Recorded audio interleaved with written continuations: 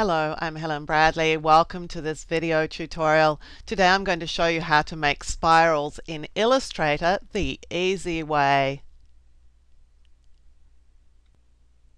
Before we go ahead and make a spiral, I want to show you exactly what it is that we're going to be doing.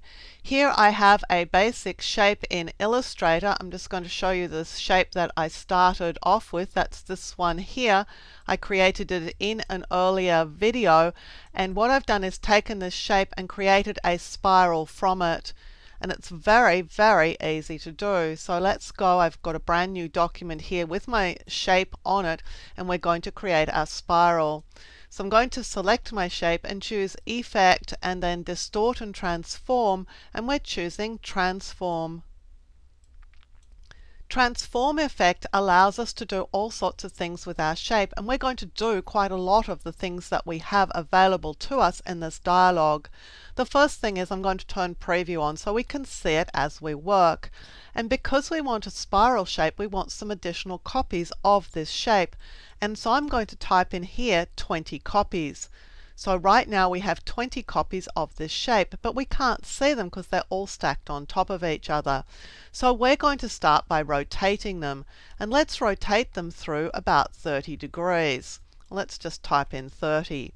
And as you can see, already we have something happening. What we've got is 20 shapes, each rotated by 30 degrees, which has given us a something. Now we could stop at this point if we get exactly what we want, but since we came here to do a spiral, this is only halfway there. The next thing I'm going to do, because my spiral is actually a series of shapes which all have some movement in them, I'm actually going to move these 20 copies and I'm going to move each of them around 24 pixels horizontally and vertically. And what that's going to give me is something sort of spiral-like. We're almost getting to where we want to be. My next step with my spiral is I would like things to get smaller as we go. So I'm going to scale these in a negative direction. I'm going to reduce the size of them to 85% of what they were in the first place. So I'm just going to type 85 here and 85 here.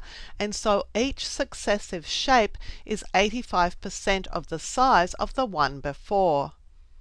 Now, I think this is going to be all right, but I need to do a couple of things to make this spiral look a bit better. Right now, the shapes or the copies are rotating and coming out from the center of this original shape. If I change the location, I'm going to get a spiral that's a little bit more offset. The locations that are of more interest to me are anything that is sort of away from the original shape. So any of these would be just fine. I am, however, quite liking this one because that's giving me a nice spiral shape. So there's a spiral shape. One of the options I have selected already and that would make a big difference is this scale strokes and effects. As you can see here, I have a really strong, very wide stroke around my shape to begin with. And if I don't do scale, stroke, and effects, then everything is going to have a 4 to 5 pixel stroke around it. And it's very heavy when the shapes become very small. If I scale the stroke and, and effects, then each of these little shapes has a much smaller stroke around it. Now there are other options such as reflect Y or reflect X. This is reflect X by itself. This is reflect Y by itself. This is reflect X and Y. And you can see that we're getting a sort of different spiral, but certainly everything is going around and it's getting smaller in the middle. That would be an option that you could choose. Once you've got the spiral that you want, you can go ahead and just click OK. So this is what we've come to. This is our shape, the spiral shape that we've created. Now it's all based around this original image. So if I click and drag on it with the move tool, I can move it into position. So don't worry as you're creating your spiral if it goes off the edge of the artboard because you can bring it all back in later on because it's all just attached to this one original shape.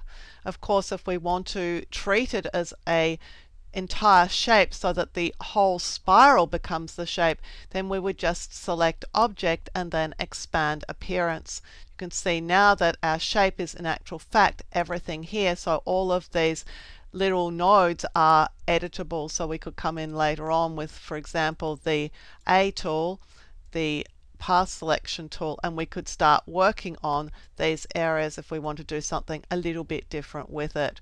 And we would need to expand its appearance to have access to these nodes or these anchors on our lines. But there's the basics of drawing a spiral in Illustrator. Thank you for joining me. I'm Helen Bradley. You'll find more of my Illustrator videos on this YouTube channel.